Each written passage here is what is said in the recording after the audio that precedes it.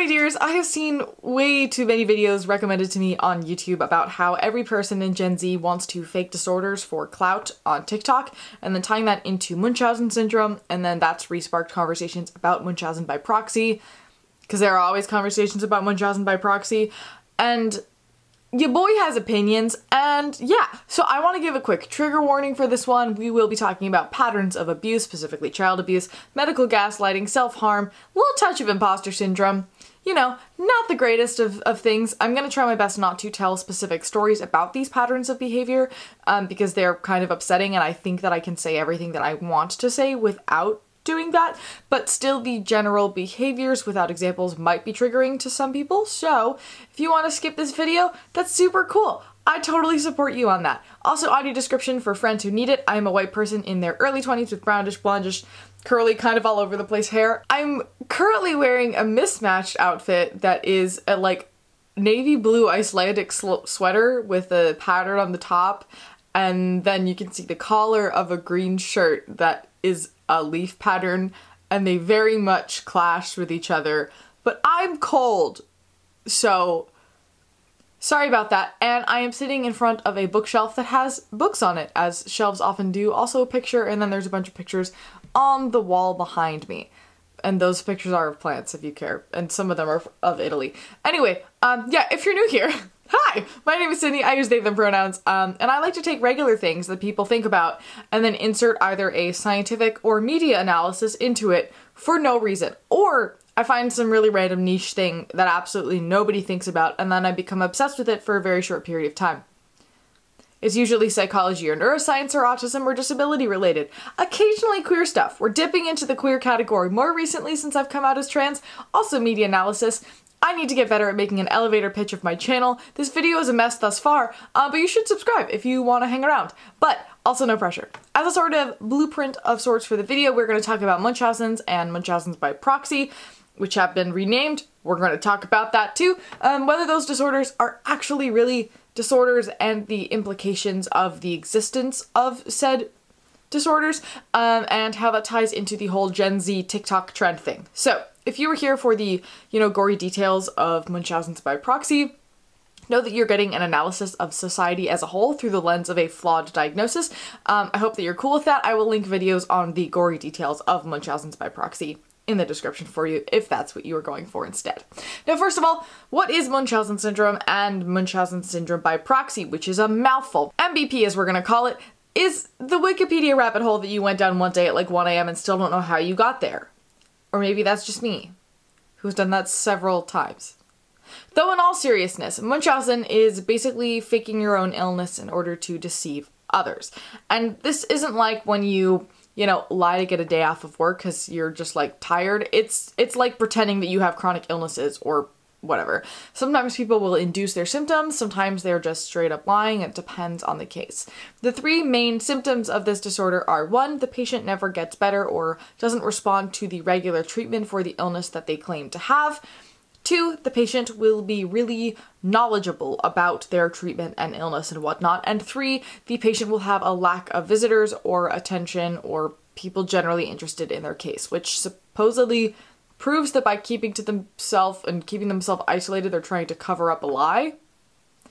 I don't get that one. But anyway, Munchausen, Munchausen, Munchausen by proxy is basically when the non-existent illness is put onto somebody else who's usually gaslit into believing it themselves. This is usually children or elderly people elderly people in the care of others. It's a form of caregiver abuse. We'll get there.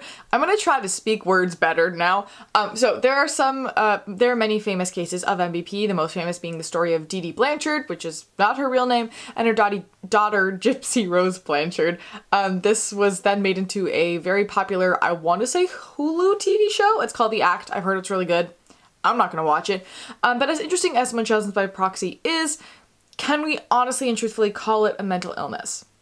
There's a very fine line between this syndrome and just gaming the system for personal gain. The nature of this disorder is in the intention behind the actions taken, which is kind of strange in my opinion, though I also feel like there are definitely other disorders that are probably in the personality disorder category that work kind of the same way, but the fact that personality disorder also should exist is a completely different discussion for a different video.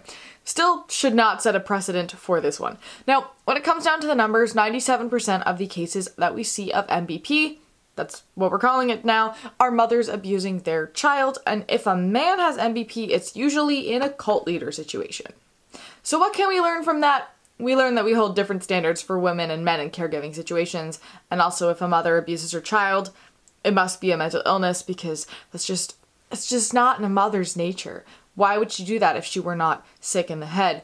Um, because we love to assign mental illnesses to people whose actions make us uncomfortable so that we can see them as a them and us as an us and think that we can't do those things. But we're going to talk a little more about that one in a little bit. What I'm trying to say here is that if you look at MBP from a different lens, you realize that it's more a pattern of abuse than a mental illness. Sure, some of these people might believe their own lies, but in most of the cases that we see, in order to keep the lie going, they continuously mess with the treatment that they're giving their child in order to make them more ill. So I think they're pretty conscious of what they're doing. Typically, when a behavior is a mental illness, it means that they're not capable of controlling or comprehending their own actions. And I really don't think that that would apply in this case. And also, I don't know how to phrase this in a way that doesn't make it seem like I've contemplated versions of abusing people. I swear I haven't. I absolutely promise you. Um, but from the perspective of the mother involved, the child is completely and totally reliant on them, which means that they therefore have full control over them.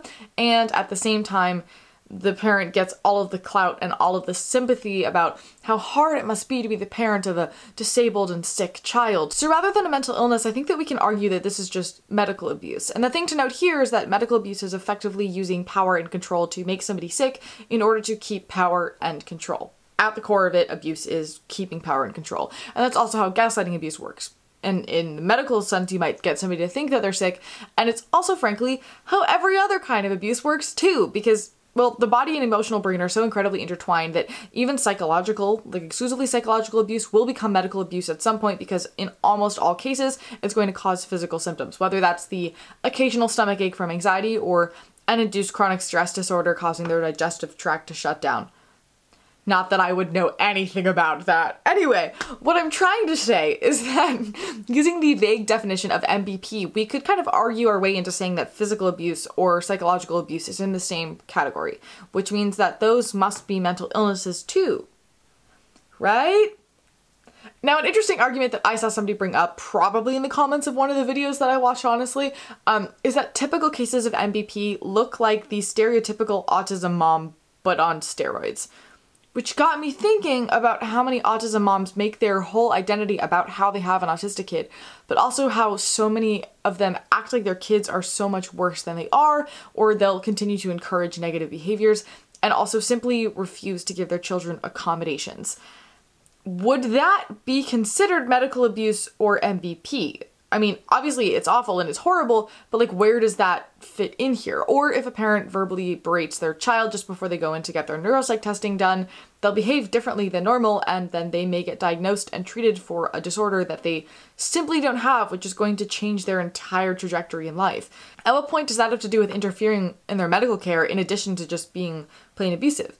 And a big issue with the diagnosis of Munchausen by proxy is the legal stuff. On one side, it's often used as an argument to get abusers off the hook for harming their children because they're labeled as people who just, they can't help it. They have a mental disorder. But on the other side, this diagnosis is often used in the court in the sense that like a doctor will come in, we'll talk about how MBP exists and how if you have it, which the scenario seems to indicate that you have it, you're therefore sick and you will harm a child no matter what, so you need to go to jail, even if that's nowhere near the case of the situation.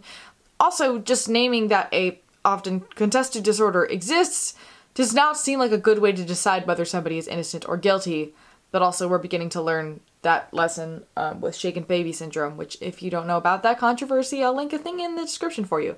Um, it's kind of interesting. It doesn't really exist in the way that we uh, thought it did. Um, but I would also appreciate if we just stopped assigning mental illnesses to things that we don't like um, and also using them in court just to define people as bad people because it further stigmatizes mental illness as a whole and it also means that people don't take the time to evaluate their own actions and motives because they're like, nah, all the bad people are the mentally Ill, Ill ones, and I can't be mentally ill, so I have to be fine and not abusive, and then continue to be terrible to people. So, here's your unfriendly reminder that you could be an abuser to anyone. Even even the nicest people can be an abuser. If you don't check yourself and those around you, it can happen. Mental illness can sometimes be a factor in that kind of behavior, but if you are mentally ill, you are not an abuser, and not all abusers are mentally ill. Though also, one could argue that every human being is mentally ill because nobody makes it out of this life alive. It's kind of. I meant to say unscathed, not alive, but both of those things are true. That's a conversation for another day. Now, what I was able to find when I was going through all of this research myself was that psychologists know that it is a form of child abuse. They just also consider it a mental illness at the same time which I have opinions about.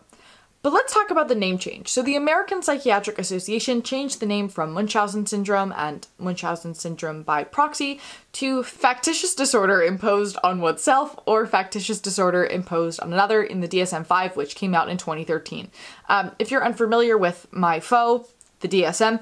Um, that is the Diagnostic Statistical Manual of Mental Disorders, and it's the really big book that every psychologist uses to diagnose people with stuff. It's super flawed. You can also find a free PDF online. Um, I've complained about this before. You can watch it up here. But what is the difference between factitious and MBP? Basically, they changed their name because the original name for the disorder, Munchausen's, was named after a German soldier whose name was Munchausen, um, and he was known for telling wildly false tales, and that was inherently stigmatizing the disorder itself. Also, factitious disorder takes the stigma off of the person telling the lies and instead focuses on the negative behaviors associated with that, which makes it less of a personal failing and more of a behavior that can be worked on and something that we can learn from. So why they chose to change the name Munchausen's and not the fact that there's an entire section of the book called personality disorders is just beyond me, but we're moving on. We're moving on. It's important to acknowledge that we have been talking at this point almost exclusively about the by proxy disorders, but they also exist to yourself. That's a way to put it as well. In today's world, we actually see that a lot more frequently. And it's important to mention that factitious disorder is different from malingering. Uh, malingering is an intentional feigning of physical or psychological symptoms motivated by an external incentive like attention or money or just simply getting out of things that you don't want to do or whatever. Um, I think that every single sitcom from the 90s has some episode where the character gets the flu and then they get a lot of soup and love and attention and care. So then they pretend to be sick way longer than they're actually sick because they want to keep being treated that way. That's not factitious disorder. The symptoms of factitious disorder are a lot more specific than Munchausen, which I really appreciate.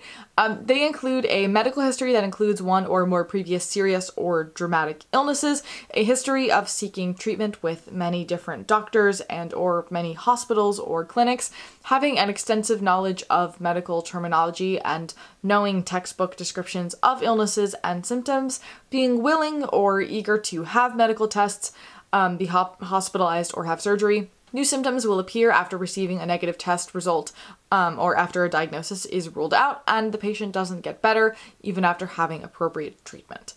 With malingering, the symptoms I don't know why the internet lists them as symptoms. I don't know if this is technically a disorder, but whatever. Symptoms is there's a difference between the person's stated injury or illness and the findings of a professional, refusal of appropriate treatment for the illness that they claim to have, and involving a lawyer early on in the diagnostic process, which kind of indicates a financial motive. Now, the fact that they had to include a lawyer as one of the symptoms is really fascinating to me. But anyway, incidences of factitious disorder are considered to be pretty pretty rare. And I would also argue that many of the diagnoses of this disorder are also misdiagnoses of chronically ill people because here's the thing if you've ever experienced trying to get diagnosed with a chronic illness that you are very sure that you have, you kind of end up being gaslit into thinking that you're not experiencing symptoms um, at the majority of the doctors that you go to because biases happen so that means that you're going to hop from doctor to doctor to specialist to specialist and you're end up going to end up getting frustrated by this and so you're going to end up doing a lot of research yourself and try to go hey doctor i think this might be the thing and that we should try this treatment because i think it's going to help me. And a lot of times we go on treatments that don't work for us so we don't get better and maybe even get worse. And while we may seem willing or eager to have medical tests be hospitalized or have surgery that's often a coping mechanism to act like you're okay with it when you're actually terrified or finally being happy that somebody is actually listening to you because it doesn't happen often. And I'm not saying that factitious disorder doesn't exist and isn't serious and terrible for people struggling with it. it is, but I'm also saying that, oh, they're just faking it, should not be the first conclusion at all whatsoever. And that is why this conversation is important and why we're having it. Because the popularization of the stories of Munchausen syndrome make people think that it is really common. It makes people think that people are faking disabilities just to get benefits or to get special treatment or to get out of things they don't want to do.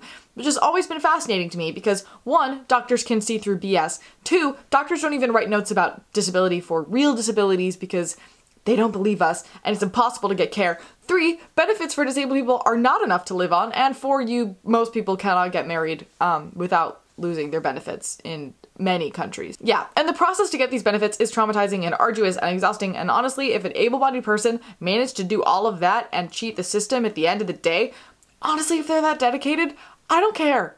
Like, just whatever. I'd rather have like three fakers slip through the cracks than tons of people who actually need it not getting the care and support they need. Though honestly, there are probably zero fakers getting benefits because they're not worth it. Not to mention that the expenses of the process of getting to that point of receiving benefits is a lot, and also there are for sure tons of people who are not actually getting the support and care that they need because of this. And the popularization of this super rare condition has made doctors feel the need to gatekeep diagnoses, meaning that chronically ill people are just constantly accused of being attention seeking or faking their own illnesses or liking to rack up diagnoses or being pushy for trying to get a bunch of tests done, even though many chronic illnesses take 5 to 10 years to get diagnosed because of the wait time for specialists and ruling out other possibilities. So, because of that, we don't get the care that we need, and, and we also feel like we're not being listened to, and a lot of us eventually just give up. Or the thing that we know that we have, but everybody else tells us that we don't have uh, the amount of time it takes to get believed and diagnosed with said thing is the amount of time it takes the disease to progress enough to the point where we're sick enough that it, we can no longer function. The window for treatment is closed. Because that also happens. A lot, especially if you're queer, trans, autistic, perceived to be a woman, a person of color, a child, or a big ol' mix of all of them. And for kids, when parents come in saying, something seems wrong with my kid, they also have a harder time being listened to and getting care for their child because of this.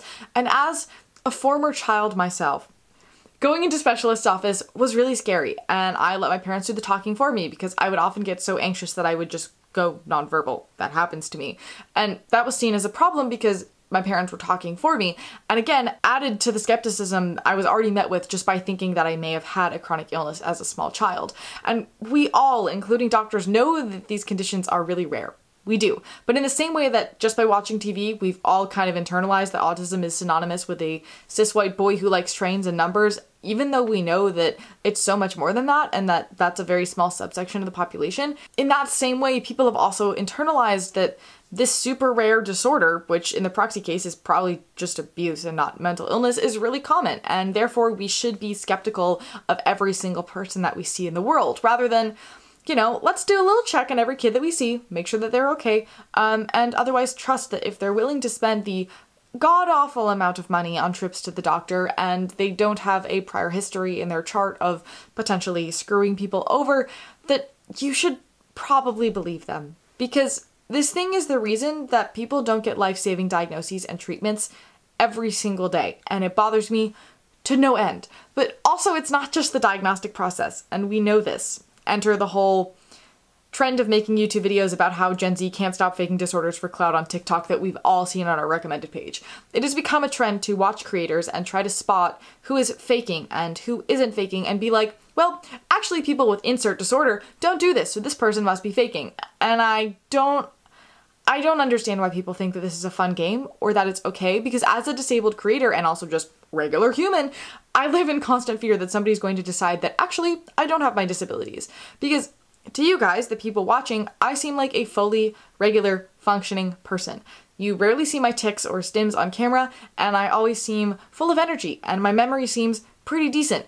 But what you don't realize is that my memory seems pretty decent because I have figured out a way to work all the way around it so you can't really tell and also I script all of my videos. You don't see my tics or stims because A, you don't see the bottom half of my body where my hands are flapping around all the time and you can't tell.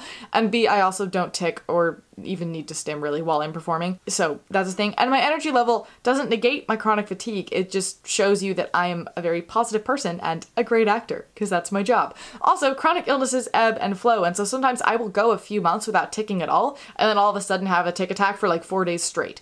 And some of my conditions are also non-disabling now because of how much I reorganize my entire life around them so that they don't become an issue. And the fact that I appeared non disabled on camera or in person is the product of years of work and a lot of preparation and recovering behind the scenes that you simply don't see. And if you didn't know, ambulatory wheelchair users are a thing. Um, people who occasionally need mobility aids are a thing. People occasionally use alternative communication methods are a thing. That's very normal. And this doesn't mean that we're faking. It means that we're human beings who experience ups and downs and get tired sometimes and have energy other times. That's how illness works. That's how life works. And it makes people think that they have the ability to tell if somebody is faking or not, and therefore deny them the care or accommodations that they may need. Not to mention that because we hear about fakers on the news and whatnot more than we hear about not fakers, because hearing about a disabled person who just is disabled would be a pretty bad news story. People think that they're these things are more common than they are, and are therefore super skeptical of every single disabled person that they come across. And here's the deal there's always going to be fakers. Just like some people continue to queerbait because it gets them attention, there is a certain level of intention and pity that's put upon disabled people that, for people who are used to being treated unkindly or outright ignored in life, is appealing. And this will always be the case no matter what. But also, if we started treating all humans, regardless of ability, as real people with equal and important needs and appreciate everybody's own quirks and make everything accessible to everyone, the instances of people doing this would be infinitely less frequent. And the thing that worries me most about all of this is that it gets super internalized. And it makes us think that maybe we are mentally ill and we're faking it for attention. Let's give a personal example. Why not?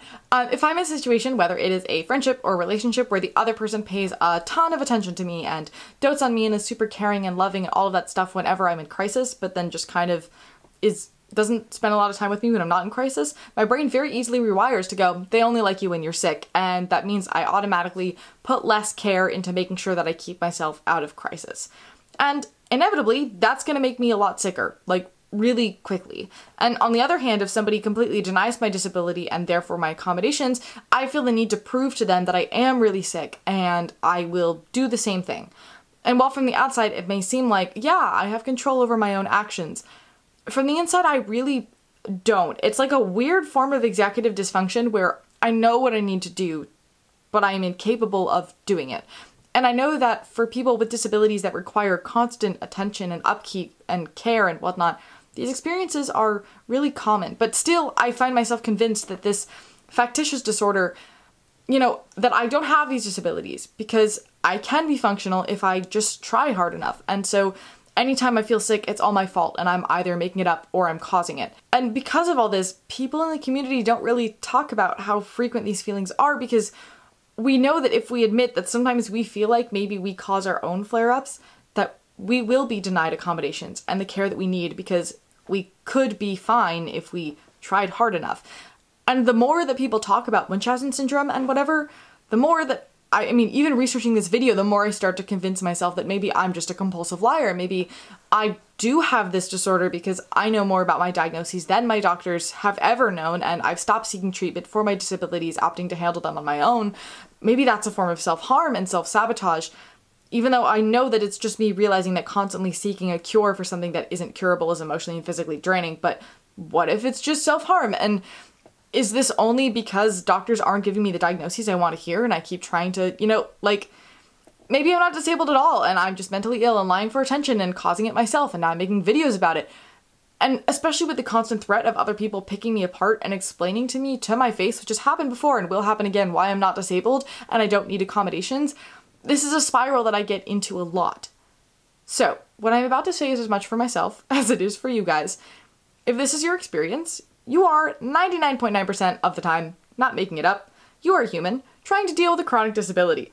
And because it is an everyday thing that you have to do and you are a human being, sometimes you're gonna mess it up. That does not mean that your disability is all in your head and you're causing it and it's your fault. And if you're convinced that you're causing it because you don't want to take care of yourself or you're purposefully self sabotaging things, look around you to try to figure out why your environment is making you feel the need to do that to yourself and see if you can kind of try to change it in some manner. For me, usually this is a symptom of a combination of burnout and falling into a pattern of insecurity where I only see my worth as it's reflected in other people. Because if other people only want to spend time with me when I'm sick, then being sick is the better choice. And in that pattern of thinking if other people only want to spend time with me when I'm sick, being sick is a better choice and why put in the effort to not be sick. And it's harder to see that as self harm than your typical self harm things, but it is a form of self harm, and you should be hyper aware of when you find yourself doing that, especially because it is the majority of the time a direct result of how your environment is treating you. And I will say this over and over again to myself, but also because you deserve to hear it too. Um, just because it is technically self harm, that does not mean that you're defective or you're broken or that it's your fault that you are doing that or feel the need to do that to yourself. Sometimes it's just a pattern that we fall into because it's easier and our environment is making self care impossible. And you deserve to be around people and in situations and places where you don't feel that way. Also, it's really easy to convince yourself that you're just faking your disabilities when they're ones that have gotten a lot better over time, or that you have mostly managed because to you, they aren't an issue as much as, you know, they could be. But you know why that is? It's because you put in all of this work and all of this time and all this energy into fixing things to make them more accessible to you so that they're almost a habit to cope with at this point.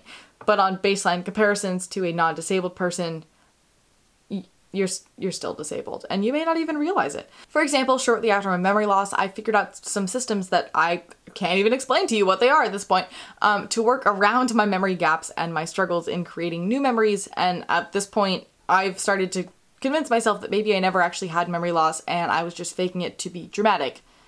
Until I remember how much work that I put in that so many other people don't ever have to do, and how I function very differently now, and how after my diagnosis I had to reframe my entire life to be accessible to my new disability that other people just don't have to go through. So while it feels like it's cured and that maybe I lied about it to begin with, it's actually just a journey of self understanding and learning new ways to function in a way that's better for how my brain now works. So, in regards to the whole Gen Z likes to fake disorders for TikTok and clout and whatnot, we live in a world where finding labels about yourself is how you find a community. It's how you find people who are like you, it's how you feel like you fit in somewhere. And much like the diagnosis of homosexual united people to the point where that diagnosis was just an identity and was taken out of the DSM, a lot of other diagnoses are starting to do the same thing. Diagnoses should not be a you are this and you are this kind of thing the criteria are kind of vague and humanity is so variant that it makes it almost impossible to properly categorize people. These things exist as a way to give language to somebody who's struggling so that they can understand their struggles better and learn to accommodate them so that they can live a better life. And the only reason that we have hyper specific criteria and whatnot for disorders is pretty much for insurance purposes and legal reasons, which is a whole other can of worms for another day. But this trend of faking disorders should not be something that we look at and decide that everybody on planet Earth is faking their disabilities. These disorders are getting too common, and we should make the diagnostic criteria more specific. And we should now pick apart every disabled person that we see to try to figure out who is and isn't faking and where the lie is. This should be a wake up call for us to realize that the reason that all of these people feel the need to do this and feel an affinity to groups of mentally ill people and the need for accommodations is that we're not treating humans in our society properly, especially the younger ones. Things aren't accessible, things aren't kind, people aren't welcoming or accepting. And the fact that everybody everywhere has an anxiety disorder in the younger generations should be a pretty big red flag that something is fundamentally wrong with the world and that we maybe need to do something to change it. And don't give me the whole special snowflake argument that we should tough it up because you did when you were a kid. Because, first of all, times change. So it could be more traumatizing now than it was. And second of all, if you think that people today don't deserve basic kindness just because you didn't get that and turned out fine, you didn't turn out fine. I'm sorry, but it's the case. And when it comes to MBP and factitious disorder, yes, these things do exist because abuse and self harm very much exist, and these are simply medicalized forms of that, more or less. But I also think that in the case of kids, we should believe first and give the treatment while also being generally aware and making sure that the kid is okay. And in the case of factitious to oneself, we should also check in to make sure that people, again, are okay because frankly I think that the medical field focuses a lot on the how can we cure the physical symptom and not the how are you feeling about this because if you have a conversation you can kind of understand what their motives are. Either way, if we help people to feel seen and heard and valued in the world and give people the tools to unlearn patterns of abuse, these things probably wouldn't exist as much either. Like, I get that stories like the Dee Dee Blanchard story and whatnot are compelling, believe me, um, but I think that it's important to have a discussion about what harm we may be causing by continuously platforming these narratives, and in general, calling every human trait we don't like a disorder, because it's probably causing way more harm than good. So, when in doubt, believe people and listen to them and give them accommodations and care because it's much better to validate 99 people and have one slip through the cracks and whatever and get benefits they don't deserve than traumatize 99 people to catch the one. Also, there's not really specific data on how common factitious is, and I think the data that we do have is probably pretty biased because doctors don't like to believe minority patients. But what I'm trying to say here is just be a decent human being. Um, don't pick people's outward appearances apart to try to find clues that they are faking. Um, and if you're disabled yourself, don't do that to yourself either. You deserve accommodations. You deserve people who care for you all the time, not just when you're sick. Like, all the time. Um, and you shouldn't settle for anything less because you are lovable and worthy and deserve to be cared for like a regular human being because you are. So, with that, thank you for listening. Thanks for learning. Remember, it's never too late to start over. And I look forward to seeing you, my dear, in the next one.